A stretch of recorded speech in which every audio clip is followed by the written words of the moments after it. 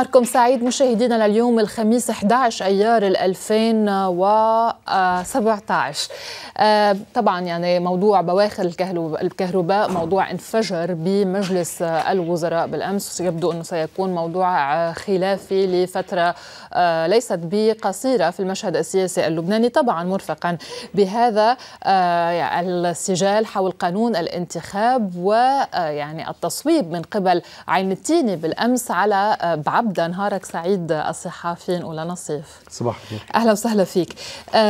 اذا طبعا يعني موضوع القانون الانتخابي هو بشكل أساسي. المحور اللي مسيطر على المشهد السياسي اللبناني بظل تأكد يعني الانطباع بأنه خلص الجلسة مؤجلة آه، إلى 20 شهر. أي 20 إذا أو إنه الخلاف مؤجل إلى 20 آه. آه الخلاف مؤجل إلى 20 حزيران نعم حزيران نعم. يعني عم إذا كنا عم نحكي عن جلسة 15 نعم. آه 15 أيار بالتأكيد أوحى الرئيس بري وقال أكثر من مرة إنه هذه الجلسة إذا لم يسبق توافق على قانون للانتخاب فحسب. قانون انتخاب. عندما أرجئ مجلس النواب ب 13 نيسان نعم. كان كانت الجلسة هي جلسة تمديد تمديد للمجلس. أرجئت جلسة التمديد أو جمد عمل مجلس النواب وأرجئ البت في التمديد إلى حين إمكان التوافق على قانون جديد للانتخاب. فالجلسة التي أرجئت هي جلسة تمديد. الجلسة التي سنذهب إليها أو يفترض أن نذهب إليها في 15 أيار هي جلسة قانون انتخاب. يعني على الأقل هذا ما قاله الرئيس بري. بمعنى إذا لم يكن هناك قانون انتخاب جديد وهناك توافق على هذا القانون فبالتأكيد لن تعقد الجلسة. يعني مش رايحين على جلسة تجريبية ولا رايحين على جلسة تمديد لن يطرح وليس في جدول أعمال هذه الجلسة موضوع التمديد.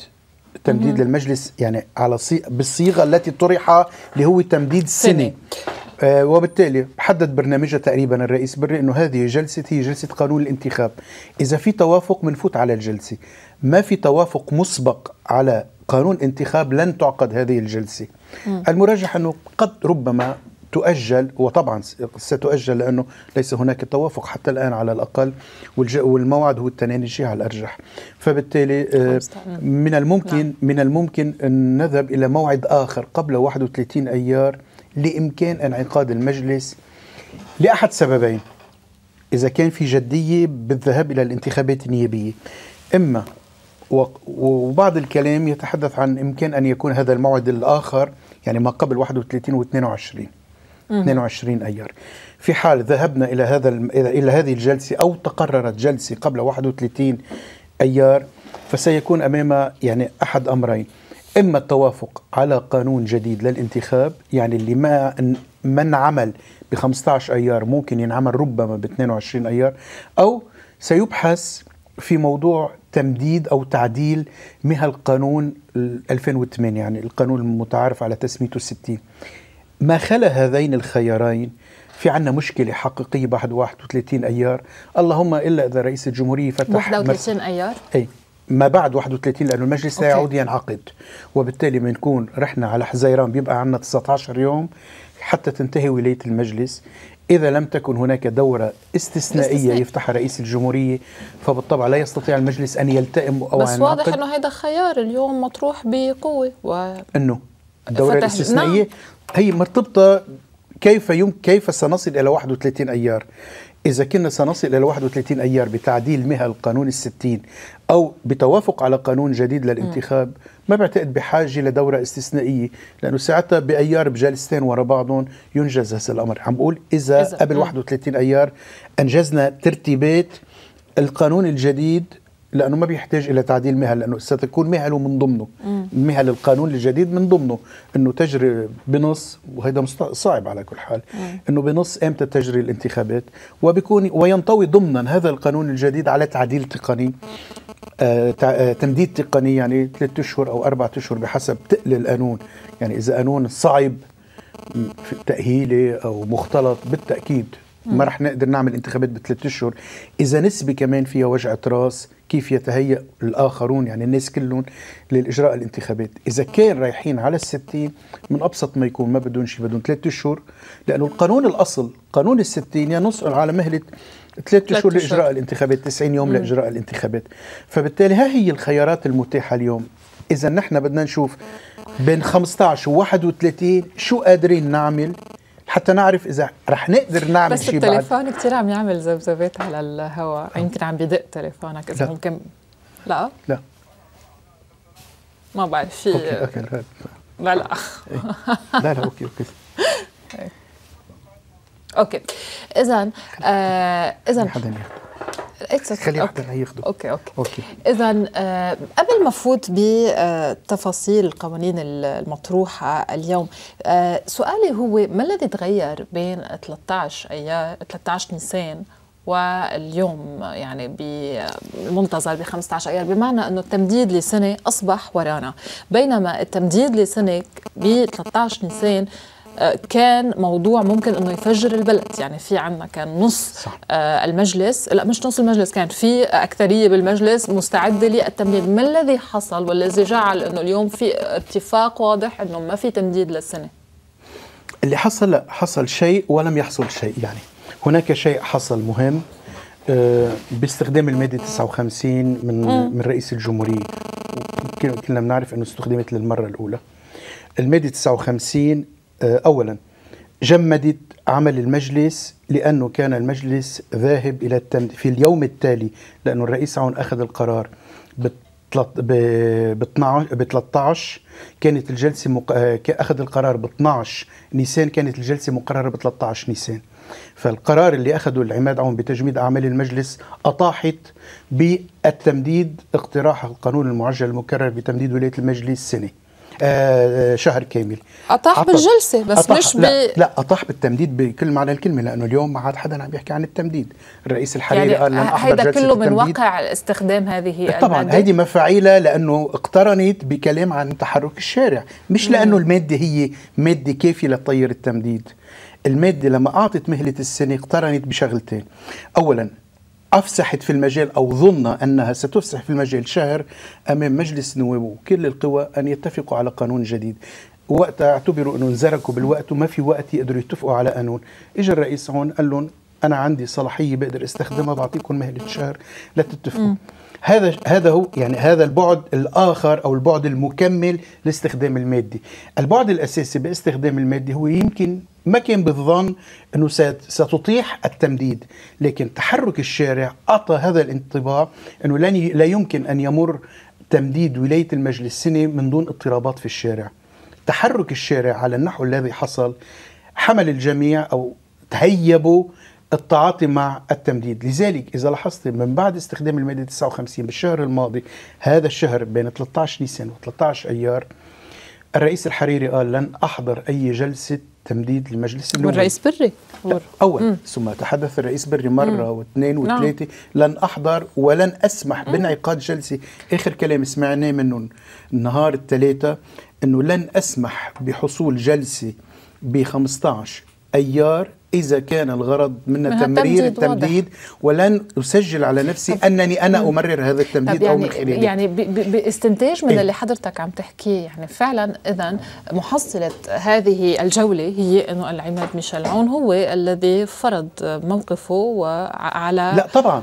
لا على- لا بدور بصلاحية متاحة له كما الصلاحية السابقة بعدم توقيع مرسوم. يعني اللي عم جرب اقوله إنه هو فعلا ب 13 نيسان كان في نية حقيقية لدى معظم هذه الطبقة السياسية بالذهاب إلى التمديد. طبعا هذا واقع. بالتأكيد كانوا كلهم رايحين كانت الجلسة في الغداء ثاني يوم التوقيع كان ب 12 أو الصدور القرار بالماده 59 ب 12 ثاني يوم الجلسة كانت حتمية. ومحسومه وجدول أعمال ووزع حتى جدول أعمال ووزع مش لأنه طلع. حكي إنه هذا كان سيناريو من قبل الجميع اتفاق من قبل الجميع لإخراج آه، أنا ما بعتقد. أنا بعتقد هلأ إذا بترجع إلى نياتهم وأنا ما بدي أحكم على نيات بالتأكيد هن بيفضلوا كتير يكون في تمديد. تمديد ولاية سنة بندفش البلد سنة ونبقى نشوف شو بدنا نعمل تماما على غرار اللعبة التي حصلت ب 13 بال 2014 بنتذكر تماما ضل الوقت إمرار الوقت إمرار الوقت إلى أن وصلنا إلى أحد خيارين ما عاد حدا يحكي عن قانون جديد للانتخاب إما التمديد وإما الفراغ. حصل ذلك بال 2013 وتكرر ذلك بال 2014 ونحن كنا على ابوابه بال 2017 عشية 13 نيسان. كان ال- التهويل إما التمديد وإما الفراغ. وحتى قيل وقتها إنه ربما بعد حتى 31 أيار ما يقدر ينعقد المجلس. خلينا نمرق التمديد في هذا الأمر. في وظيفة أخرى ربما لم تتحقق كما يجب ولذلك بيقدر الواحد يقول إنه المادة 59 أدت جزء من وظيفتها أو أدت جزء من من الغرض الذي توخته.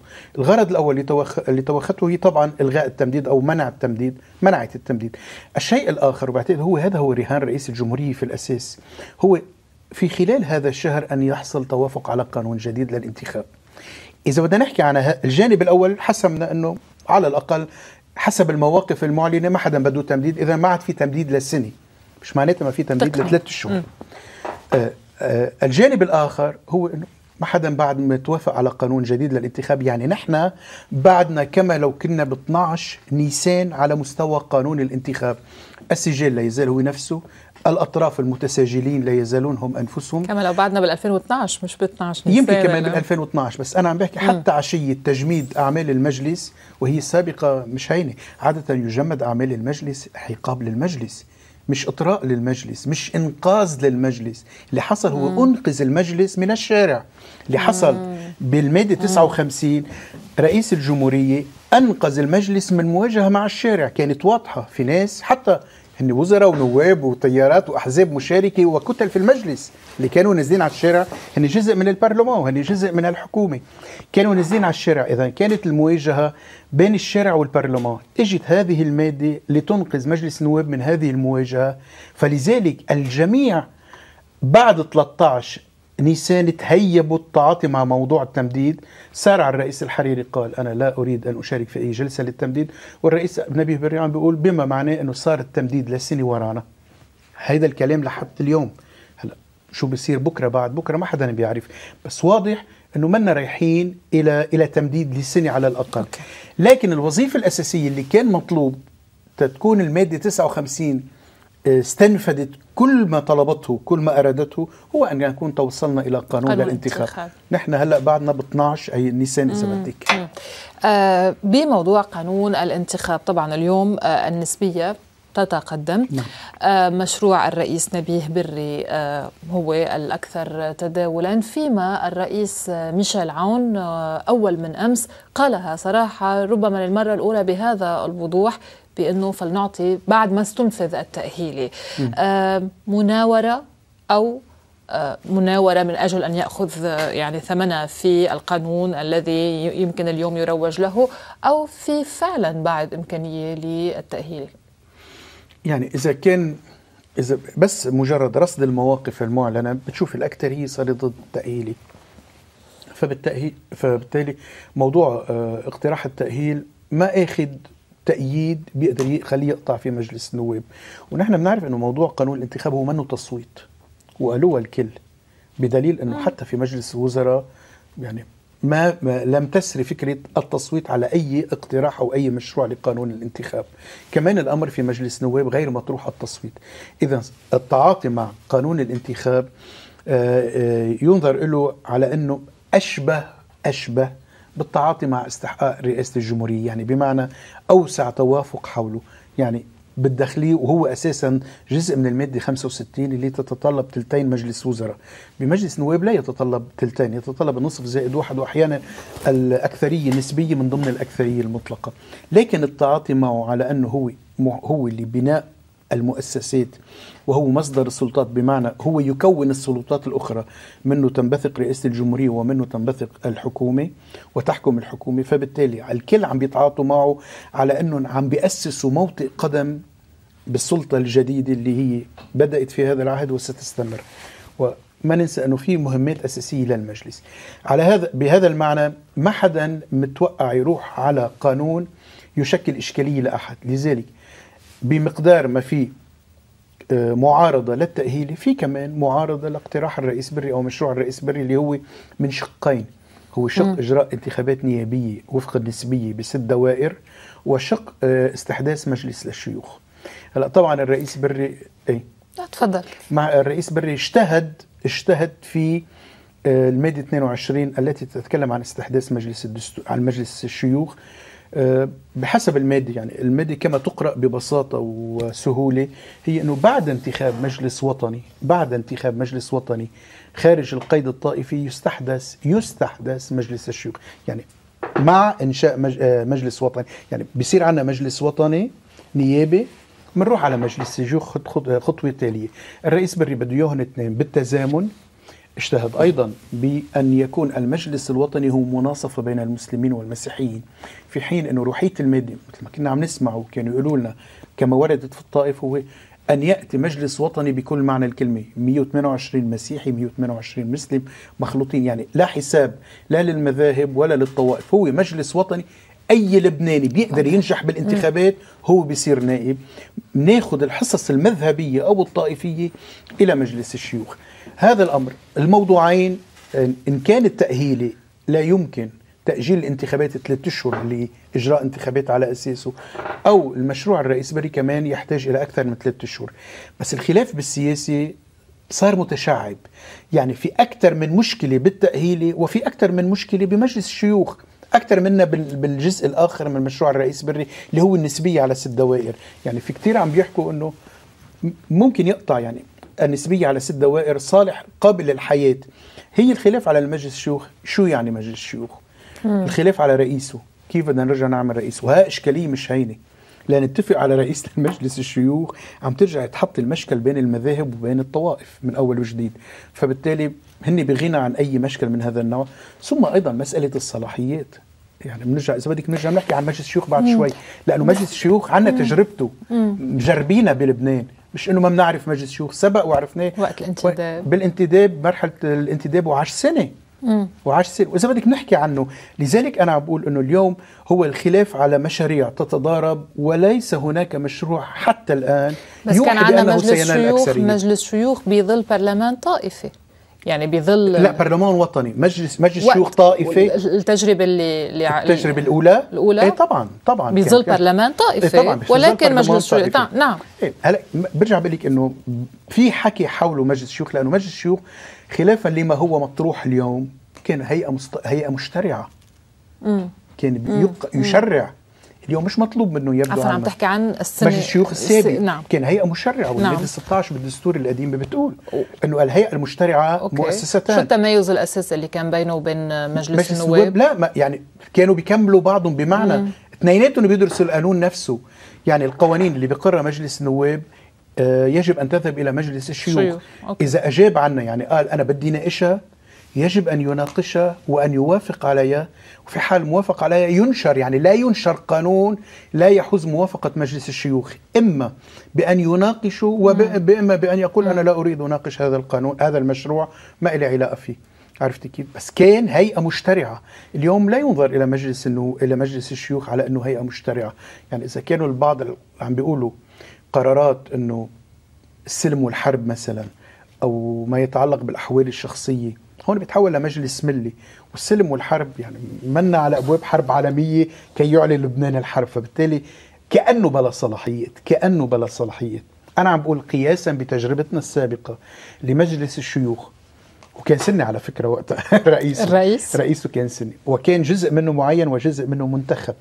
خلافا للتجربه أي السنة؟ ال 26 آه. هو استحدث آه. مع الدستور اللبناني. صحيح صحيح. هدى لل 27 بال 27 الغي وتحول أو أصبحت الهيئة المشترعة في لبنان هي هيئة واحدة هي هي, هي مجلس النواب. نعم. فبالتالي تجربة سنه ما كانت كافية. أضيف إلى ذلك إنه الدستور آه، لا يلحظ صلاحيات المجلس المجلس الشيوخ بشكل واسع. يتناول هذا الجانب المادة 16 القديمة. ولا يحدد الدستور طبعا ما في قانون مثل قانون الانتخاب يحدد آلية آه، انتخاب أعضاء مجلس الشيوخ.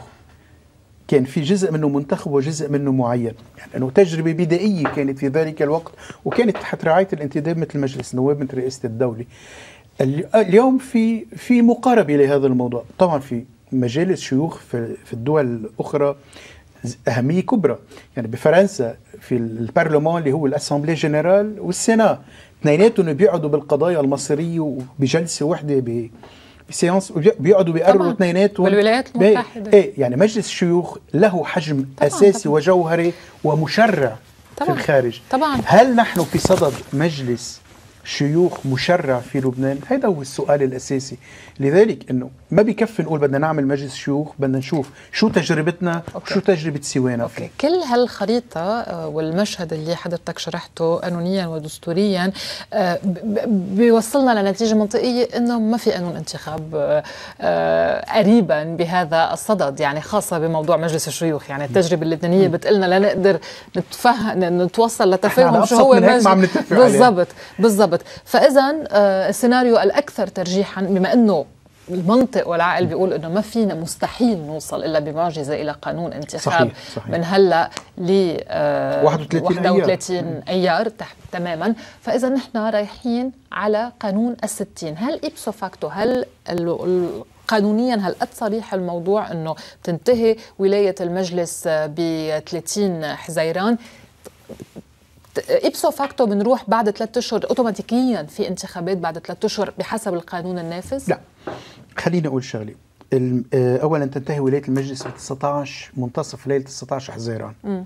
تنتهي ولاية المجلس. إذا من هلأ لوقتها ما قدرنا عملنا قانون انتخاب جديد أو لم نعدل قانون الانتخاب بمعنى أجرينا تمديد تقني اللي ثلاث أربعة أشهر خمسة أشهر لنعمل انتخابات. إذا نحن واصلين لليلة منتصف ليلة 19 20 حزيران إلى فراغ كامل في السلطة المشترعة. يعني ما في ما في برلمان بالمطلق. وهذا لا يعني إنه ما في حكومة، لا في حكومة بس هي بتصبح حكومة تصريف أعمال بصلاحيات محددة، يعني ما عاد فيها تمثل أمام مجلس لأنه ما في مجلس. مع إنه بالحج الماضي كان يكون في مجلس والحكومة مستقلة وكانت مع تجربة الرئيس مئاتي تقول أنا لا أمثل كحكومة مستقلة أمام المجلس. فكيف ما في مجلس؟ هون الحكومة عندها اذا بدها آه، تدعي تدعو إلى انتخابات عندها صلاحية تصدر مرسوم دعوة الهيئات الناخبة للانتخابات النيابية. لكن هون في عندي عندنا عقبة. هي إنه آه، عفوا ممكن ترجع هون. هون. الحكومة في حال حصل الفراغ الكامل ب 19 آه، في إمكان منتصف ليله 19 20 تستطيع الحكومة تصد- تصدر مرسوم أو تصدر مرسوم دعوة الهيئات الناخبة إلى انتخابات خلال ثلاث اشهر خلال ثلاث هي فينا قبل ما فينا قبل 19 لا فيها تعمل ساعة اللي بدها. طالما في ولاية. المجلس بس قبل ما تنتهي ولاية المجلس يجب ما في فالمشكلة هي المر... اللي رح رح أقول لك إياها هلأ هي مش مرسوم دعوة الهيئات الناخبة هي تعديل المهل لاجراء لتحديد موعد إجراء الانتخابات يعني ما فيك تجري في مهل ل... لإجراء الانتخابات ينص عليها القانون ثلاث أشهر. لا ثلاث أشهر الحكومة آه بدك تعدلي قانون الانتخاب النافذ قانون الانتخاب الحالي. اللي بدنا 60. نعمل عليه انتخابات إن كان قبل الفراغ أو بعد الفراغ okay. بيقول لك في عندك الهيئة المشتركه هيئة الإشراف على الانتخابات. ها شو بدها؟ هذا بدها مجلس وزراء فقط. تقدر الحكومة تعملها إن كان okay. في مجلس أو ما في. في اقتراع المغتربين. هيدي مادة ملزمة. ها بدها مجلس نواب. ما فيك تشيليها وما تحطيها. بدك بدك بدك مجلس نواب لحتى هو يعدل القانون ويستثني اقتراع المغتربين وإلا تكون كل الانتخابات باطلة وعرضة للإبطال لدى المجلس الدستوري، في عندك أيضا تعديل المهل، ها بدك مجلس نواب يعدلها، الحكومة بعد الفراغ لا تستطيع أن تفعل هذا الأمر.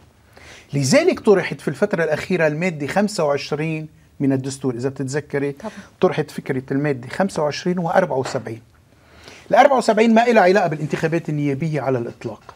المادة 74 اولا اللي بيفتح كتاب الدستور بيشوف إنه المادة 74 مدرجة في سياق انتخاب رئيس الجمهورية، اذا هي مادة في حال شغلت رئاسة الجمهورية لأي علة كانت.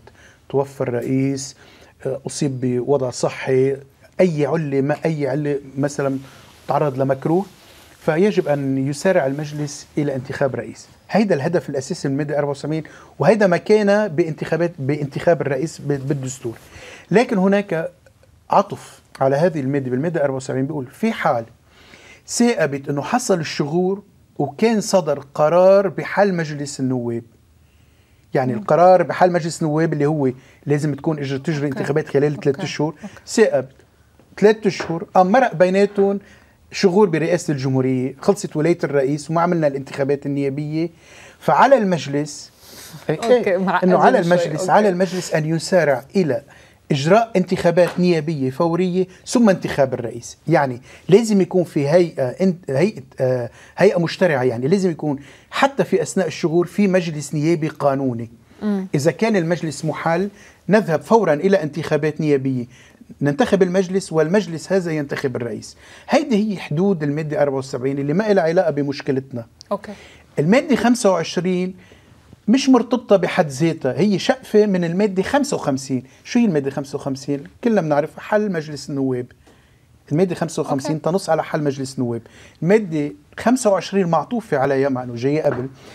لما بيصير حل مجلس النواب لازم الحكومة تصدر مرسوم دعوة الهيئات الناخبة خلال ثلاثة أشهر. عرفتي؟ نحن الآن منا في صدد حل مجلس النواب. نحن في صدد نهاية الولاية.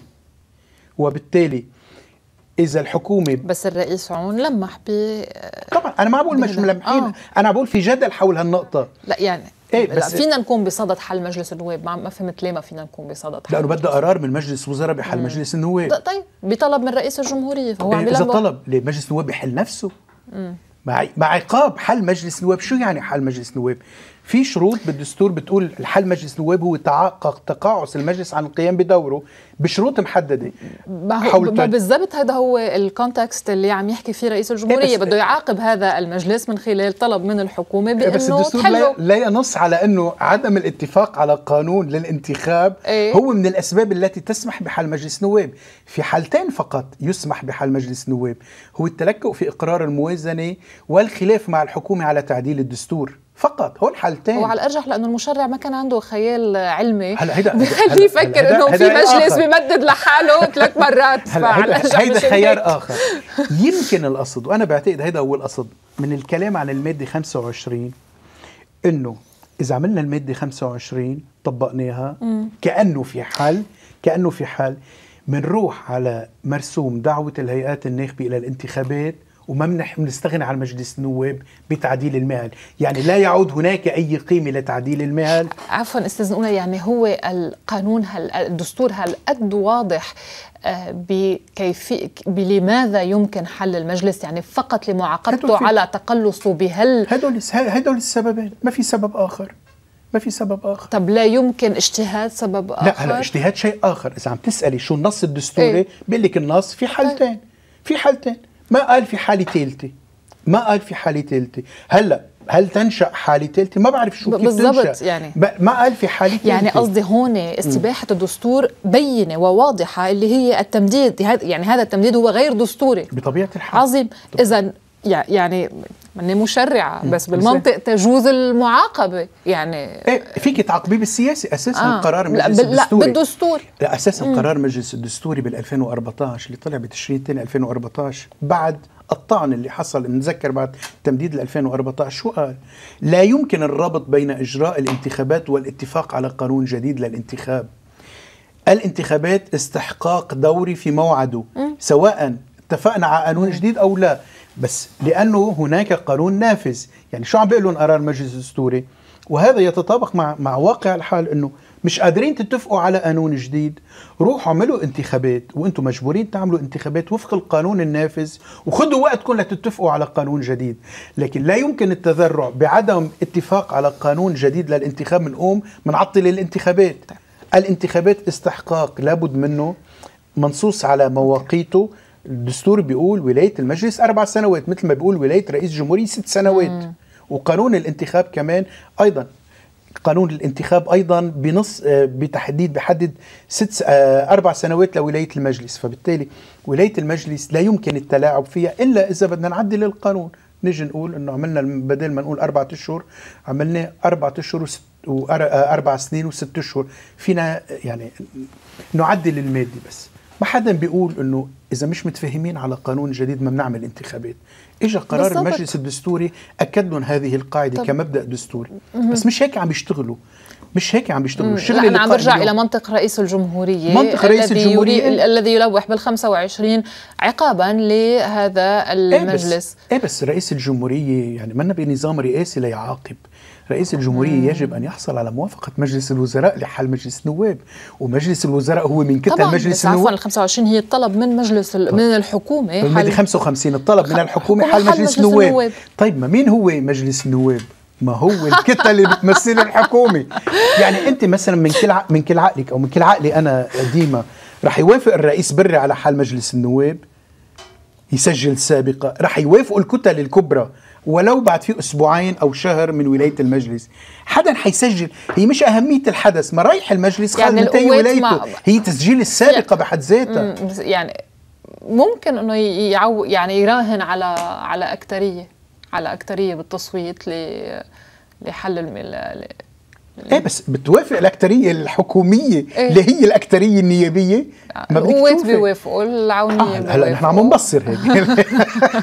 هلأ هيك طيب. عم بصر أنا وياك طيب. يعني.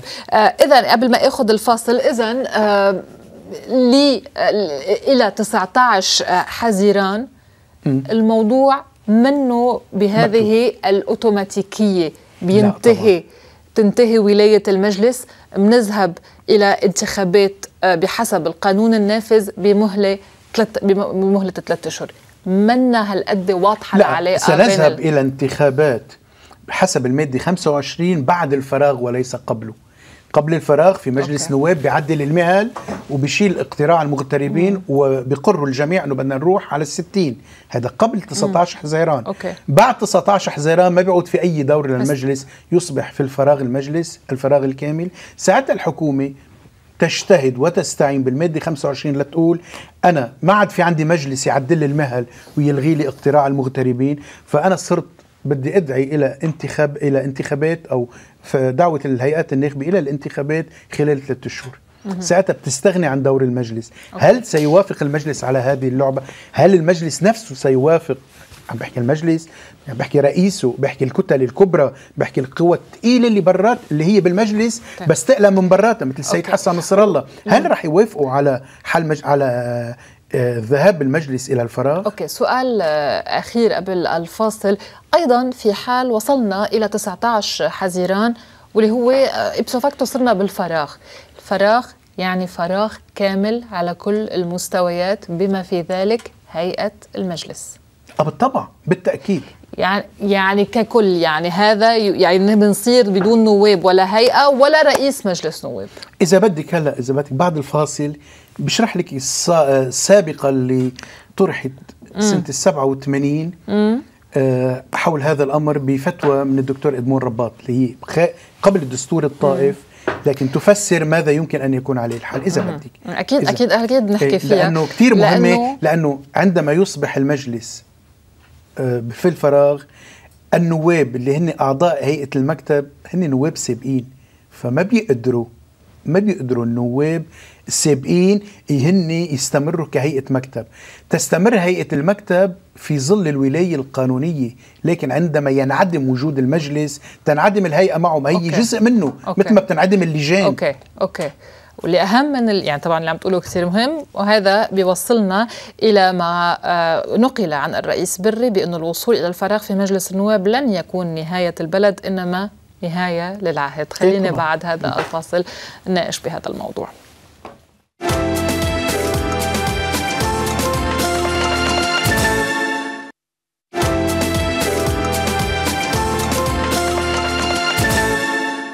إلى نهاركم سعيد وإلى الصحافي أولى نصيف.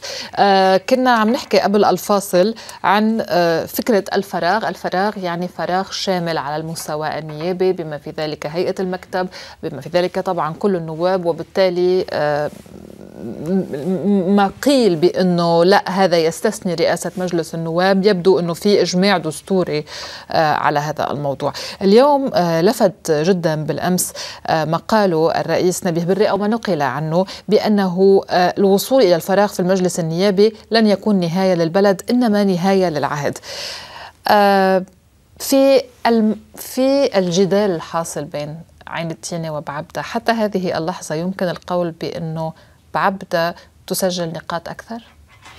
لا كلام الرئيس بري إنه ليس نهاية لل للبلد بل بالعهد. العهد هي هي كمان آه، طبعا كمان نهاية للبلد لأنه العهد هو جزء من البلد. البلد منه جزء من العهد. يعني البلد هو العهد هو الصغير والبلد هو الكبير. إيه ممكن ينتهي العهد وما ينتهي إيه البلد. لا ممكن ينتهي العهد وما ينتهي البلد بس بفراغ من هذا النوع ينتهي الجميع.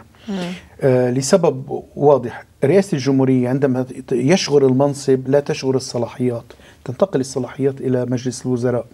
بالحكومة عندما تستقيل الحكومة لا تشغل لا المنصب ولا الصلاحيات لأنه تستمر في تصريف الأعمال إلى حين صدور مرسوم قبول الاستقالة وحكومة جديدة. مجلس النواب مش هيك. مجلس النواب ليس هناك شيء ما بعد انتهاء الولاية يعني شيء يكمل مؤقت أو انتقالي وما في شيء اسمه المرفق العام. بالهيئات الناخبة ما في شيء اسمه مرفق عام يستمر. المرفق العام الذي يستمر هو بالهيئات المعينة. يعني مدير عام يحال على التقاعد بيجي الذي يليه بيستمر المرفق العام بهالمعنى. آه، الوزير إذا استقال أو فل لأنه معين في وزير بالوكالة يتولى الحقيبة سواء آه، لاستمرارية المرفق العام. كذلك بالهيئات الوظيفية أو الإدارية لأن هيئات معينة فبالتالي المرفق العام يجب أن يستمر. الهيئات المنتخبة في مرجعية انتخابها. يعني رئيس الجمهورية لا يستمر إذا انتهت ولايته لأنه في هيئة انتخبته وانتخبته حسب الدستور لمدة ست سنوات. مجلس النواب ما بيقدر يستمر بعد انتهاء الولاية لأنه في هيئة انتخبته وبحسب القانون. قانون الانتخاب بتقول له أنه أنت وكالتنا أربع أربع سنوات فبالتالي بعد الأربع سنوات يجب أن ترحل أو أنا بجدد الوكالة بس يجب أن يأتي تأتي هيئة جديدة. هذا هو الخطر الحقيقي اليوم. لأنه لما بيفقد بيفقد دور مجلس النواب اللي هو صمام أمان أمان أيضا. اولا الحكومة تمثل امامه وتحاسب. مش عم بحكي كيف عايشين نحن اليوم بس عم بحكي بالإطار النظري. وأيضا مجلس النواب آه، مجلس النواب عنده صلاحيات مشتركة مع رئيس الجمهورية وعنده صلاحيات مشتركة مع مجلس الوزراء. فبالتالي رغم في يعني الفصل بين السلطات فبالتالي ما بتقدري تشيلي هذه المؤسسة الأم تعدميها ما تكون موجودة وينتظم عمل المؤسسات الأخرى. ما بتتحول رئاسة الجمهورية لديكتاتورية أو إلى طغيان أو استبداد لأنه ما في مجلس نواب؟ ولا تستطيع الحكومة أن تتحول إلى طغيان أو استبدادية أو تعسف إذا غاب مجلس النواب؟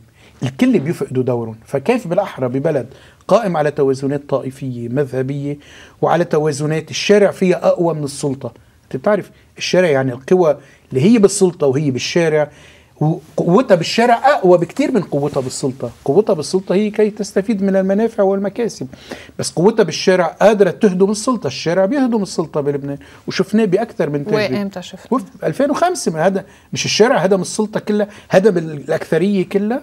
هلا الكلام اللي صار أخيرا؟ يعني لحظه لحظه الكلام اللي صار أخيرا هذا استثنائي يعني. لا لا وهذا, وهذا يحصل في كثير يعني هي هيدا استثناء يحصل في كثير من البلدان لا يعني في, مع في أحداث مفصلية بس خليني يعني. اذكرك أيضا ب 13 تشرين الأول الذي سبق انتخاب العماد بالشلعون شو كان الكلام؟ 13 تشرين الأول؟ 13 تشرين الأول انتخاب انتخب العماد ميشيل عون 31 31 ب 13 ما قبل 13 كان هناك تحضير لتظاهرة. غاية في الأهمية بالشارع إيه. إيه؟ بس هذا شو معناته طب ما ها اخذت بس ما ها من ضمن أسباب أخرى أخذت لانتخاب العماد يعني بالشارع ما, ما بعرف يمكن يمكن يمكن مناقشتك بهذا الموضوع إنه اللي أخذ إلى إلى 31 هو يعني هو استدارة الرئيس الحريري بغ... كيف استدار الرئيس الحريري؟ تحت الضغط مجموع... الشارع؟ مجموعة معطيات قلت لك من ضمن أحد الأسباب من أسباب أخرى. هذا تحرك الشارع اليوم الشارع هو اللي عم يتحرك. اليوم الشارع هو اللي شفنا. عدة تحركات للشارع أو اللي يعني لا تحصى الأمثلة عن تحركات الشارع بلبنان والتي لم تحرك ساكنا. أبرزها طبعا يعني سنة 2006 الاعتصام للمعارضة والتيار الوطني الحر و لحزب الله. اللي ما قدروا انهم يسقطوا حكومة فؤاد السنيورة الرئيس فؤاد السنيورة وكل ديما ديما اعتصام كانون الأول 2006 إيه؟ أدى إلى سبع أيار. إيه هذا السلاح أدى إلى سبع إيه الشارع شو سبع إيه أيار؟ إيه هذا سبع السلاح اذا هذا السلاح سلاح هذا مش سلاح إيه؟ ما هذه أخطاء إيه سياسه ما ها أخطاء الحكومة كمان. أدى إلى سبع أيار شل البلد. يعني سبع أيار لا يقارن ب 14 شباط 2005 ما سقطت حكومة مم. الرئيس فؤاد السنيورة بس شو فعلت حكومة الرئيس السنيورة؟ سجنت في السرايا صاروا الوزراء قاعدين بالسرايا ما عم بيقدروا يطلعوا. ما عاد تقدر تاخذ أي قرار ما عاد تقدر تجتمع ما عاد مثلت أمام مجلس نواب اعتصام كانون الأول يعني بعد حرب تموز بس 2006 أنهى فعليا دور حكومة الرئيس فؤاد السنيورة واخذ حتى ترتكب مزيد من الأخطاء اللي أخذت إلى سبعة أيار، شو سبعة أيار؟ سبعة أيار هو ثمرة الاعتصام، أنا ذاك ما كان في الإمكان بالاعتصام يعني في رأي طبعا بيقول إنه مش الضغط الشعبي إيه. اللي سقط وانما ضغط السلاح قوة إيه. السلاح. أنا عم على العموم إيه. هذا مش يعني إيه الشارع دائما له له فعالية أساسية مم. في هذا الأمر. ليش؟ لأنه الذين هم في السلطة نفسهم يستخدمون الشارع. مم. وبالتالي الشارع اللي بيكون برات إيدهم بيكون عديم الجدوى. شارع المجتمع المدني اللي هو ليس بالزبط. في قبضة السلطة لا يستطيع أن يفعل شيء. وشارع الوط... التيار الوطني الحر مثلا. بيقدر يفعل. لا لا التهديد اللي صار عشية التمديد عشية التمديد لا هدول التظاهرات بتسلوا. عشية التمديد كان في شيء تهديد جدي حقيقي خلى الكل يتوجسوا وما يروحوا على التمديد ويمكن مثل ما أنت قلتي لي بالبداية إنه كان في نوع من التوافق على استخدام المادة 59 مع إنه صار في جدل دستوري حدا إنه هل هي تصدر بمرسوم أو بمجرد قرار؟ صحيح. والرئيس الحريري مم. لم يثر مشكلة حولها معناتها ربما في نوع من التواطؤ لا لم يطرح كفاية هذا الموضوع لأنه السابقة اللي قبل استعملت فيها هذه المادة استعملت بمرسوم وليس بكتاب. لم تستعمل قبل لم تستعمل قبل لا. آه. صار في, اقتباس إيه. قيل إنه استخدمت بالضبط بالعشرينات وبال 36 أيضا هي مش بالعشرينات هي بال 36 استخدمت مرة. بال 36 كان الدستور معلقا. مم. عندما يكون الدستور معلق لا تستطيع أن تقولي إنه أنا مارست صلاحية دستورية. ما الدستور ما أنت استمدت هذا التصرف من المنتدب اللي علق الدستور. لما بيكون الدستور معلق ولا ينفذ أنت أي إجراء بحجة إنه هو مادة دستورية لا يكون فيها سيادة الدستور بالإجراء. إجراء مم. لما بدي يطبق الدستور بده يكون هذا الدستور سيد. يعني هناك سيادة في ممارسة الدستور. أنا ذاك كان كان الانتداب منذ 32 علق أعمال الدستور.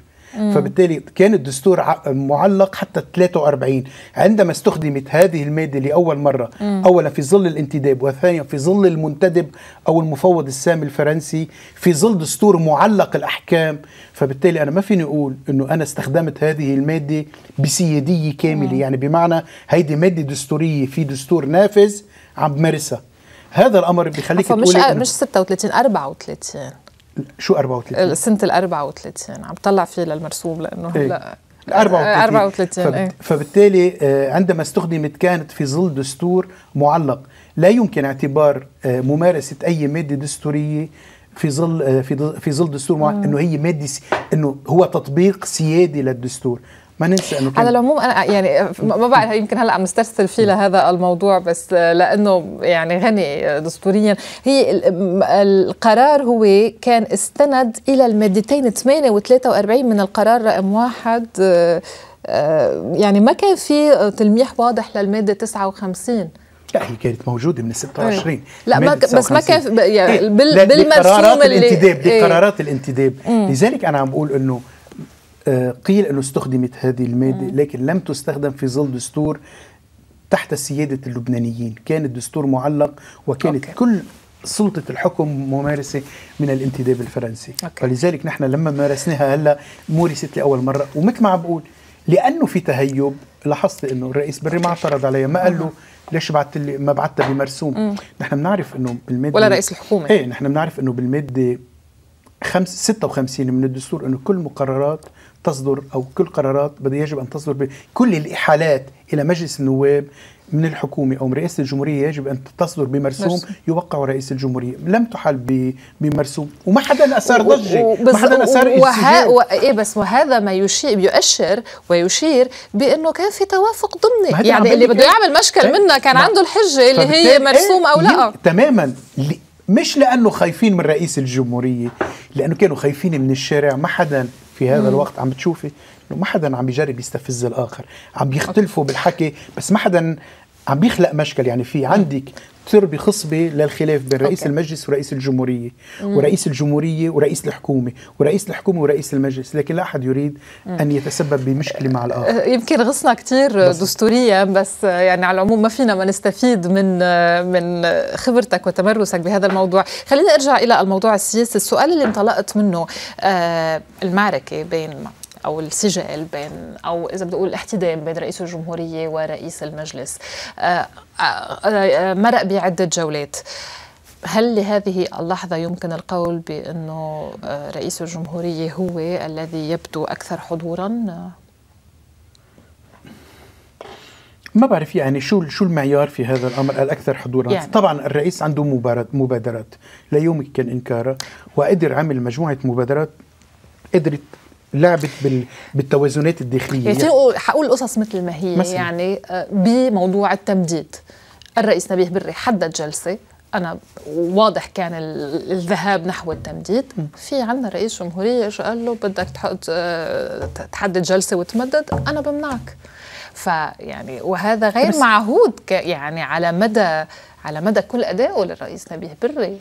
غير معهود. إنه أنه يواجه بهذا الشكل أو ألم يواجه بانتخاب العماد عون كمان الرئيس؟ أيضا.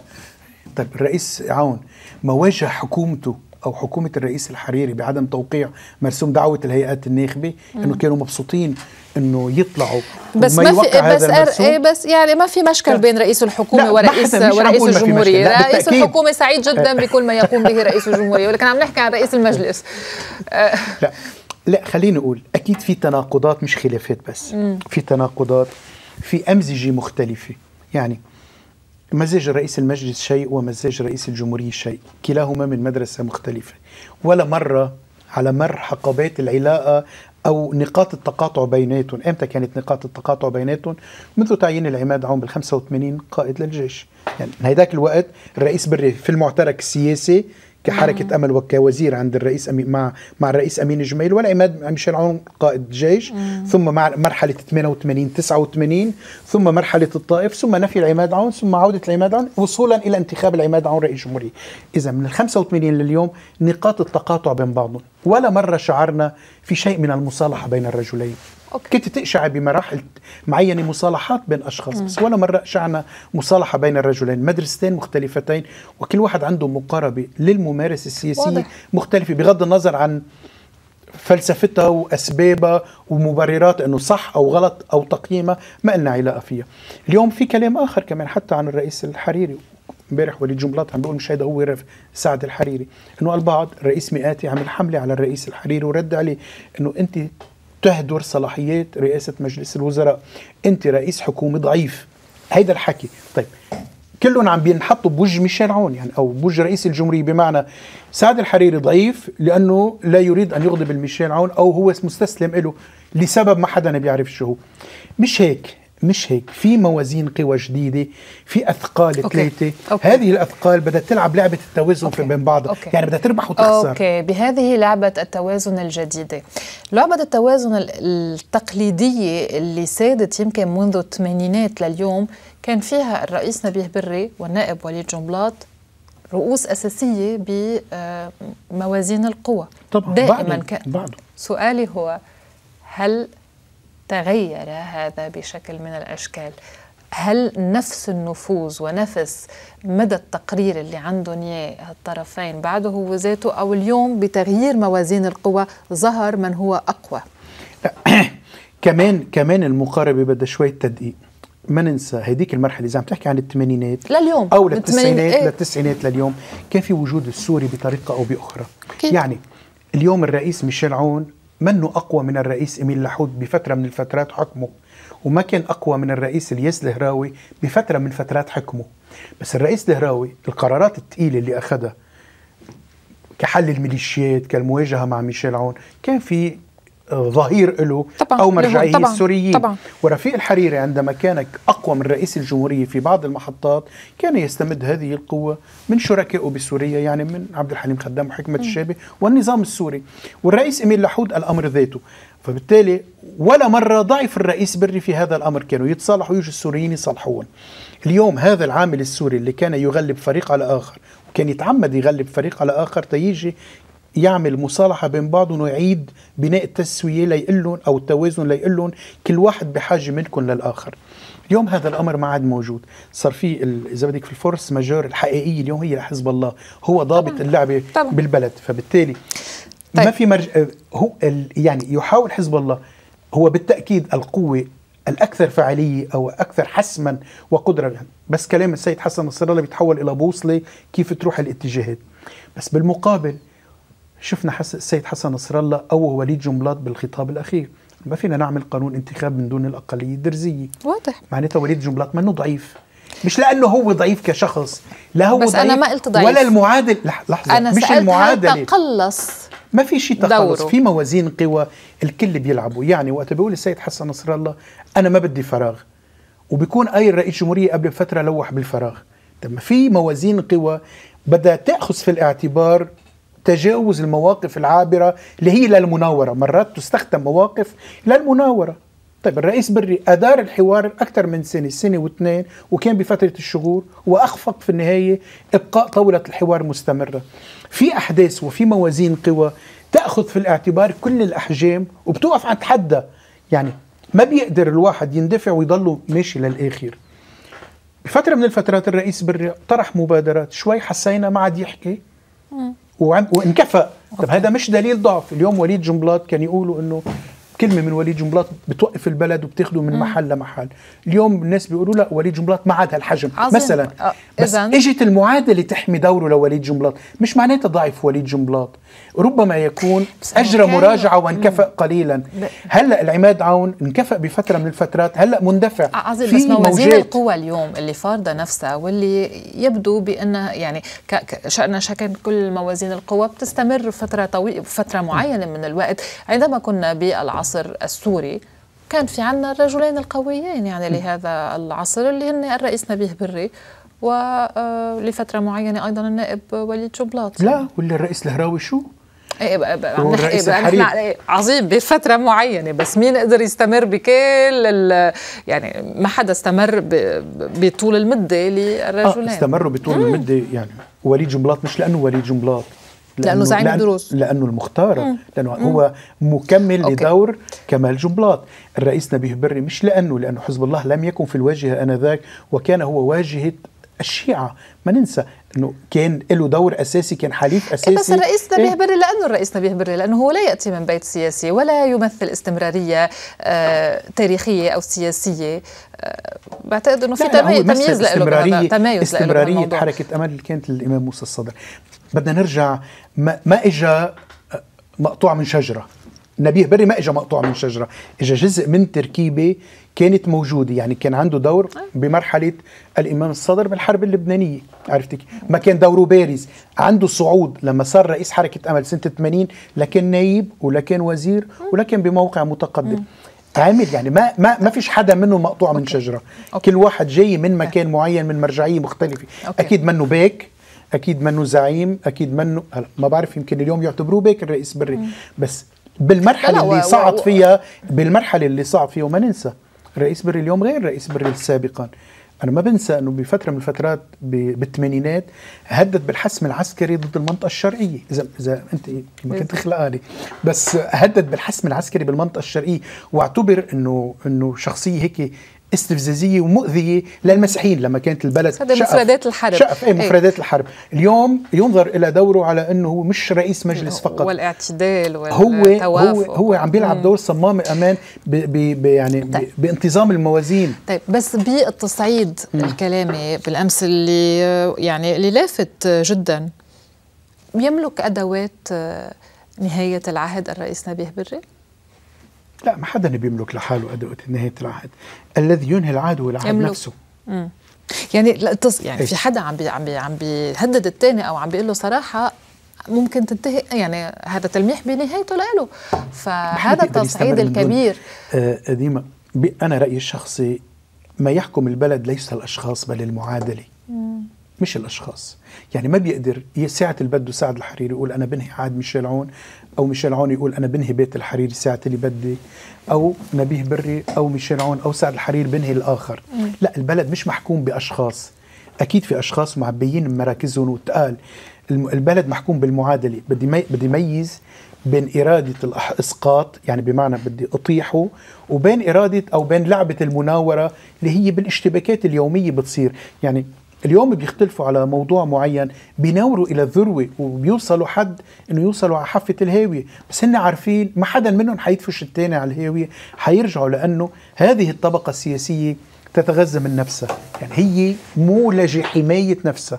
لما تحرك المجتمع المدني اللي هو برات هذه الطبقة السياسية كان أمامهم شغلتين إما قمعة أو التغلغل فيها وإفسادها من جوا وفي جزء منه هالشيء قدروا قدروا حققوه. ضلت الطبقة السياسية متماسكة.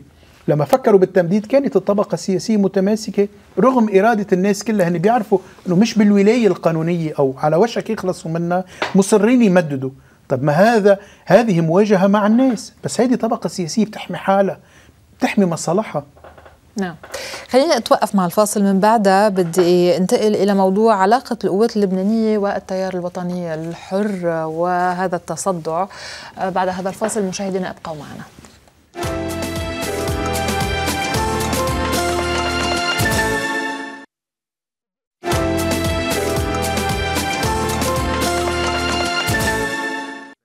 ما إن جلس رئيس الحكومة سعد الحريري على كرسيه لترأس جلسة مجلس الوزراء حتى سارع إلى انتقاد المؤتمر الصحفي الذي عقده وزراء القوات اللبنانية وحليفهم الوزير ميشيل فرعون على خلفية مناقصة استقدام سفن إنتاج الكهرباء.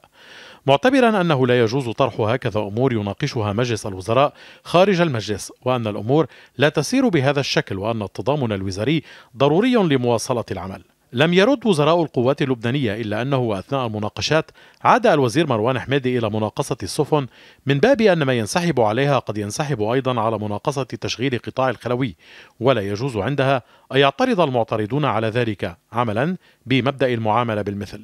تدخل الوزير جبران باسيل في النقاش بحسب المصادر منتقدا من يهاجمون وزير الطاقة لافتا إلى أنه لم يفعل سوى ما تم الاتفاق عليه في مجلس الوزراء وهو أن يعتمد دفتر الشروط الذي أعد في حكومة الميقات مع تعديل كمية الكهرباء المطلوبة وإمكان أن توافق الشركة الفائزة على تمويل الإنتاج لمدة ستة أشهر. وفي كل الحالات سيعود وزير الطاقة إلى مجلس الوزراء. مصادر وزراء القوات نفت من جهتها مناقشة ملف الكهرباء في جلسة مجلس الوزراء وكشفت أن وزراء حزب الله والمردة وفي محادثات جانبية مع وزراء القوات أبدوا تأييدهم لموقف القوات في رفض مناقصة السفن. ورغم انتقاد الرئيس الحريري لتصرف وزراء القوات اللبنانية وحليفهم الوزير فرعون كان لافتا أن الوزير محمد كبارة والوزير معين المرعبي وهما من تيار المستقبل رفضا وهما يدخلان السرايا الحكومي صفقة سفن إنتاج الكهرباء. في ملف هذه الصفقة تقول مصادر وزارة الطاقة إن اللجنة المكلفة فض العروض انتهت من مراجعة العروض الإدارية أي المتعلقة بالأوراق المطلوبة ورفعت تقريرا في هذا الإطار إلى الوزير سيزار أبي خليل ولم تستبعد أي شركة. وزير الطاقة طلب من اللجنة المباشرة بفض العروض التقنية وقد بدأت هذه العملية بالفعل وعلى أساسها سيتم تحديد الشركات المؤهلة والتي سيتم فتح عروضها المالية. عندها سيذهب وزير الطاقة بتقرير نهائي عن النتيجة إلى مجلس الوزراء ليتخذ القرار المناسب بشأن مصير المناقصة. إذا كنا عم نحضر هذا التقرير الخاص بالسجال العوني القواتي بهذا الموضوع. سؤال تقني بسيط. مش ملزوم كل وزير إنه يعمل المناقصة اللي آه، المناقصة الخاصة بوزارته أو أي مناقصة بتخص نعم. مش لازم إنه تدرج على مجلس الوزراء. هل ممكن إنه بتفويض من آه، الحكومة إنه يجري مناقصة في وزارته بعيدا عن بعيدا عن إمضاء مجلس الوزراء. يعني يمكن الكل عم بيتسرى أو على الأقل وزير الطاقة إنه حصل على موافقة مبدئية في السابق أي. في إحدى جلسات مجلس الوزراء بملف آه، الكهرباء. فبالتالي صار في أو شعر صار في عنده هامش من الحركة في هذا الأمر أن يجري مناقصة استنادا لمناقصة كانت قد أعدت في حكومة الرئيس مئاتي أو في الحكومة حكومة الرئيس مئاتي فيما مضى. وهذا الأمر عم بيسجل اعتراضات هلا. هن وزراء القوات بيقولوا إنه الخطة اليوم تطبق من قبل وزارة الطاقة فيها تغيير عن عن الخطة اللي أقرت بال 2010 بحكومه بحكومة الرئيس ميقاتي وبالتالي آه هذا التغيير ولو إنه طفيف بيجعلنا قدام خطة جديدة لابد أن تعاد وتدرس لأنه النفقات صحيح. فيها مغايرة مغايرة ولا ومضخمة يعني حتى م. إلى حد إنه بالمليار و800 مليون دولار فينا نقدر يمكن نعمل إعادة تأهيل المعامل ويكون في عندنا طاقة منتجة من دون الحاجة إلى البواخر والحكي على البواخر إنه فيها صفقات أو فيها عمولات. ما بعرف التفاصيل الكلام اللي عم ينحكى في هذا الأمر. أنا بعتقد هي جزء من مشكلة على خلاف موضوع الكهرباء. هل هذا الموضوع قابل قابل للحل أم لا؟ ومن هي الجهة القادرة على حله؟ ما ننسى أنه هذا الملف موجود بين يدي آه، التيار الوطني الحر منذ حكومة الرئيس سعد الحريري الأولى. يعني منذ 2010 قبل ما كانت وزارة الطاقة بإيدهم كانت بإيد التيار الوطني الحر كانت بإيده وزارة الاتصالات إذا بنتذكر بعد اتفاق الدوحة بحكومة الرئيس فؤاد السنيورة الثانية اجى جبران باسيل وزير اتصالات. ثم صار الخلاف ما بدهم اياه بالاتصالات بد أصر إنه ياخذ مبيل الطاقة كمان ما بدهم اياه المهم عملية التسويه منذ ذلك الحين وزارة الطاقة بين يدي التيار الوطني الحر طبعا. بانتظام. فبالتالي وفي كلام كثير انه كلام للوزير البسيل إنه سنتجي أو اللي بعدها بصير 24 على 24 فهذا الملف دائما كما لو إنه مفتاح مف... كأنه مفتاح النجاح بشيء ما لا عفوا هو بال 2012 قال نهاية هذا العام مش اللي إيه. جاي ولا اللي بعده. إيه تماما. فبالتالي كل الكلام اللي عم بدور حول الكهرباء كما لو إنه هي مفتاح الخروج من الفساد ومفتاح إعادة الحياة إلى إلى إلى انتظام الحياة إلى إلى انتظام يعني الحياة الطبيعية عند الناس. يعني النظر إلى الكهرباء هي حاجة أساسية بهذا المعنى. في فريق بده يعتبر حاله مكلف إنه أن ينجح تجربته وفي فريق عم بيقول له إنه أنت ما رح تقدر تنجح تجربتك. من خلال هذا القياس وما تنسي يعني هي دعاية انتخابية بحد ذاتها. كل الملفات اليوم اللي مفتوحة هي ملفات ذات دعاية انتخابية. تحكي كنا عم نحكي هلا من شوي في ملف الخليوي أثير هلا مجددا حول هذا الأمر حول الشركتين أو شركات أخرى. موضوع المقالع اللي عم بيعمل عم بيعمل سجالات حتى بين الوزراء وامبارح كان بين وزيرين الداخلية ووزير البيئة. فبالتالي كل الملفات اللي ممكن أن تنطوي بشيء بشيء بشكل ما على دعاية انتخابية من ناحية وعلى موطئ قدم بنفوذ سياسي من ناحية تانية عم بتكون هي سبب إشكالات. مش أول مرة. كل الحكومات هيك. ملف الكهرباء هو الملف الأكثر استعصاء نظرا إلى تكبيده الخزينة مبالغ طائلة مليارات سنة فسنة من دون إيجاد حل لهذا الأمر. واقتران موضوع الكهرباء عم بيتعامل مع تيار المستقبل على أنه هيدا المشروع الفاشل للتيار الوطني الحر. والتيار الوطني الحر عم بيتعامل مع هذا الملف كما لو إنه هو الإنجاز الحقيقي اللي ممكن يقدمه للبنانيين. فبالتالي آه، اللعبة يعني مفتوحة على كل الاحتمالات على آه، يعني على اشتباكات قائمة. يعني إذا بتقشعيها عم بتشوفي إنه عم تفتح ملف ورا ملف والكل عم بيشتبكوا ببعضهم. مش عم بتكون فقط يعني بيعملوا تحالفات بالسياسة بس يوصلوا على طاولة مجلس الوزراء على آه، تقاسم مراكز النفوذ أو مواطئ القدم في في مراكز النفوذ عم يختلفوا بين بعضهم. مشان هيك يعني ما, ما عندي تفسير آخر لهذا الخلاف. ماذا عم يعني ما بدنا مش الموضوع ليس فقط موضوع تقني هو موضوع مم. سياسي في هذا الأمر. بالسياسة ما الذي يفسر إنه هالقد القوات اللبنانية مصرين على هذا الملف.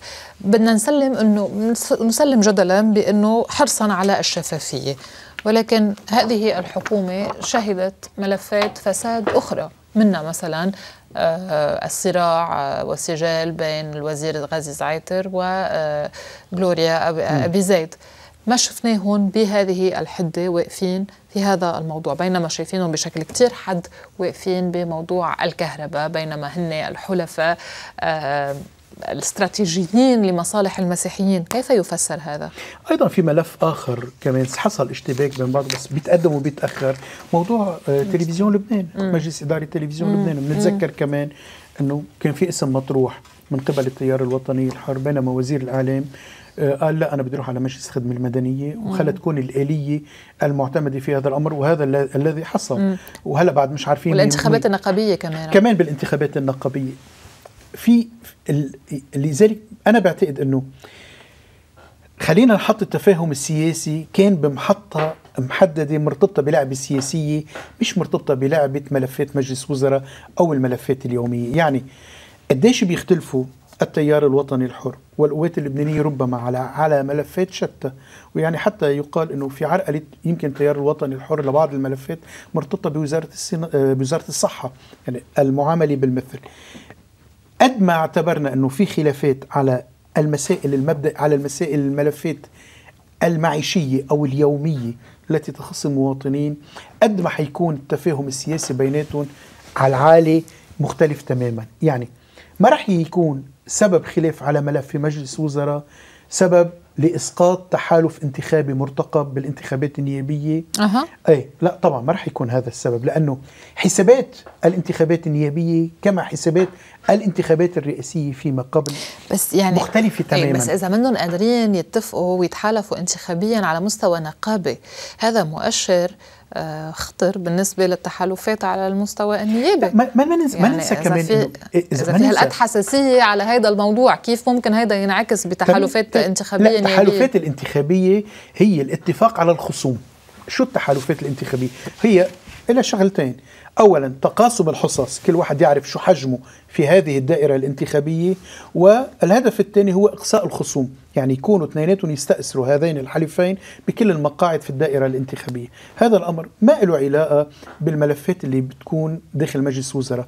ما ننسى إنه اثنيناتهم عم بيتسابقوا على أرض وحدة اثنيناتهم عم عم بياكلوا من صحن واحد يعني شعب الأرضية عمل التيار الوطني الحر وأرضية عمل القوات اللبنانية هي أرض مشتركة.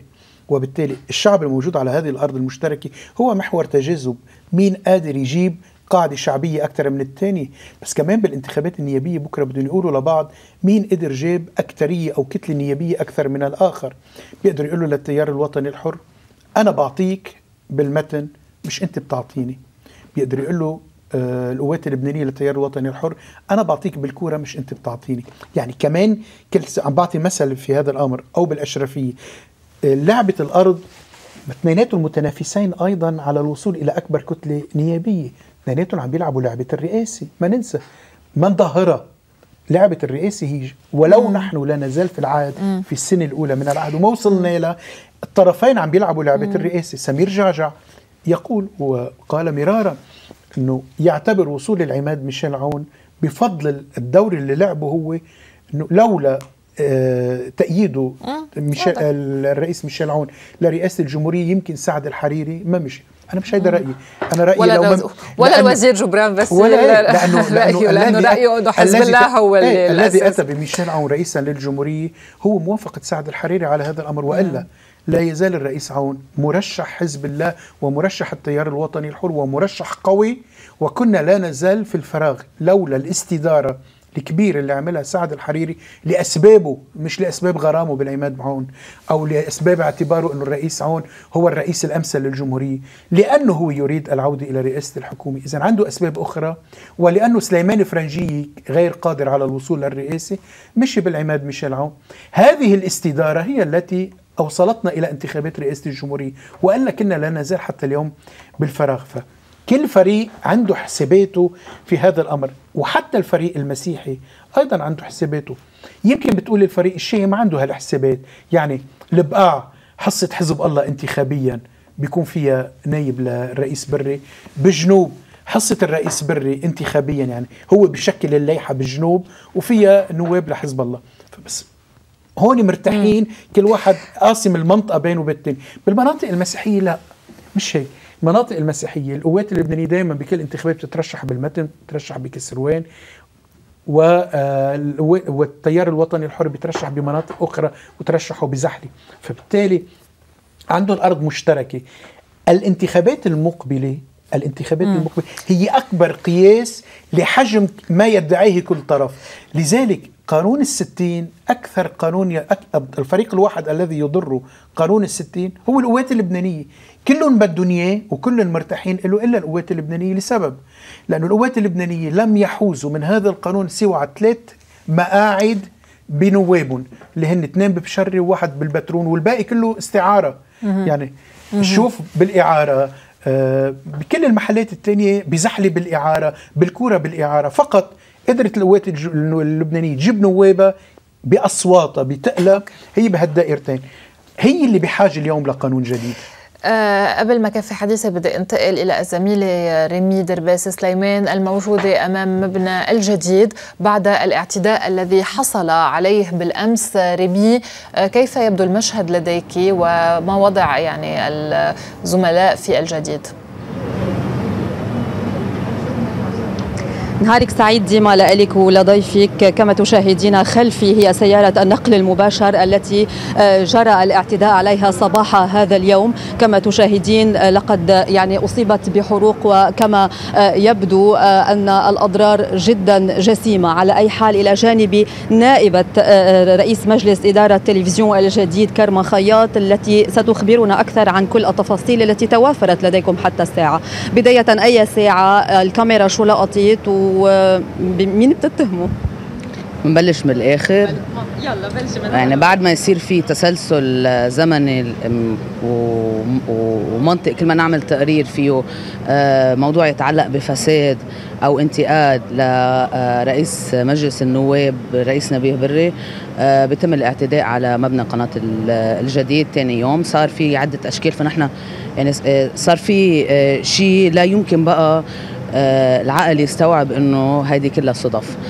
أول مرة بإطلاق النار على مبنى جديد ثاني مرة بإطلاق النار مباشرة على مبنى رئيس مجلس إدارة آه، آه، قناة الجديد على مكتبه مباشرة.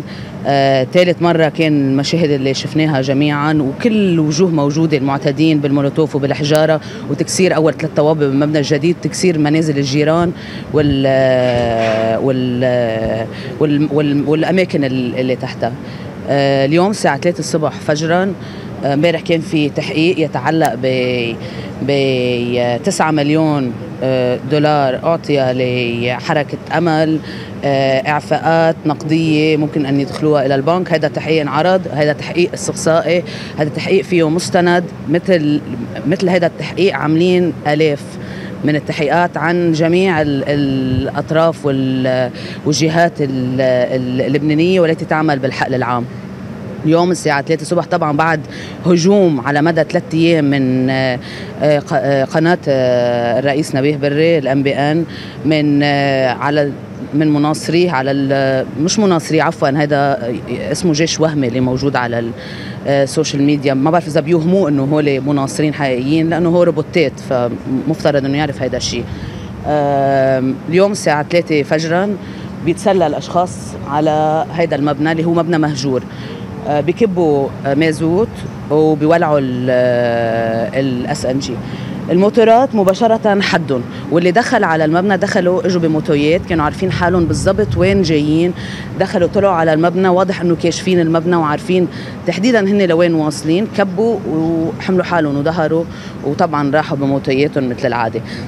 بدي اضيف أنا بس شغلة إنه من أربعة أيام في حجة من خمسة أيام تقريبا في حجة ختيارة ما ارتكبت ولا ذنب انسجنت ست أيام آه صلبطة ومع cancer انسجنت ست أيام وما حدا سأل عنها بالدولة اللبنانية. رئيس مجلس النواب عناصره محميين من قبله بيرتكبوا جرم.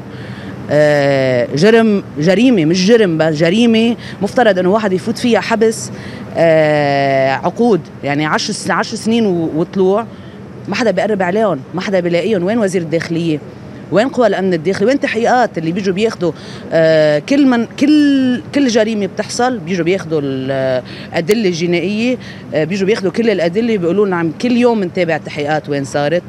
أكيد آه في في شبح هذا الشبح اللي آه له يمكن آه من أول ما تأسس لبنان موجود هذا هو الشبح موجود آه بكل الأحوال يعني ما بعرف إذا هيدي بقى فيكم فينا نعتبرها إنه هاي دولة بتخاف إنه تاخذ إجراءات بأي بلد تاني آه، يعني بيتاخذ إجراءات برئيس مجلس النواب بأي بلد تاني بيتاخذ إجراءات أو بينسجنوا الفاعلين اللي أقاموا بهذا اللي بهذا الجرم. بما أنه هذا ليس الاعتداء الأول آه، وربما لن يكون الأخير هل من احتياطات ستاخذها القناة من أجل عدم تكرار هيك حوادث؟ هلا الإجراءات نحن عم نعلي الحدايد كل شوي من منزيد الاحتياطات الأمنية. ولكن إذا الاحتياط اللي عم بيحاولوا يخلونا ناخده هو السكوت وعدم القيام بعملنا وانتقاء الحريات بالبلد شو هي. وكل ما بدك تنتقد طرف كل ما بدك تحكي شيء عن طرف بدهم يقوموا بالهجوم. مش بالهجوم بمحاولة القتل بالإحراق. بإحراق المبنى. هذا المبنى هو مبنى فيه فيه بنايات سكنية. فيه ناس نايمين فيه. لو احترق المبنى شو كان صار بالعالم؟ تسلل ومحاولة إحراق. هذا محاولة إحراق مبنى. في موتورات موجودين. لو ما الشباب يعطيهم ألف عافية يعني قدروا ياخذوا إجراءات مباشرة. إيه ما بنعرف شو وين كنا نحن هلأ. الحمد لله على السلامة وشكرا لك نائبة رئيس مجلس الإدارة إدارة قناة الجديد. أود أن أشير ديما إلى أن وزير الإعلام حضر إلى هنا صباحا وتفقد الأضرار الناتجة عن هذا الاعتداء الذي حصل كما ذكرنا صباح هذا اليوم. أيضا الأدلة الجنائية وصلت وأخذت العينات لمعرفة أو للبدء من أجل البدء بالتحقيقات اللازمة. ديما. شكرا لك الزميلة ريمي. دربس سليمان طبعا كل تضامننا مع قناة الجديد بوجه هذا الاعتداء وسلسلة الاعتداءات التي حصلت عليها. ما بعرف إذا عندك تعليق قبل ما أختم. شفنا شو اللي صار. لا طبعا أكيد مش مقبول اللي بيصير هيك الاعتداء على وسائل الإعلام. نحن انتهى وقتنا أستاذ نقول نصيف. بدي اشكرك على وجودك معنا. أهلا وسهلا فيك. شكرا مشاهدينا شكرا لكم على حسن المتابعة ونهاركم سعيد.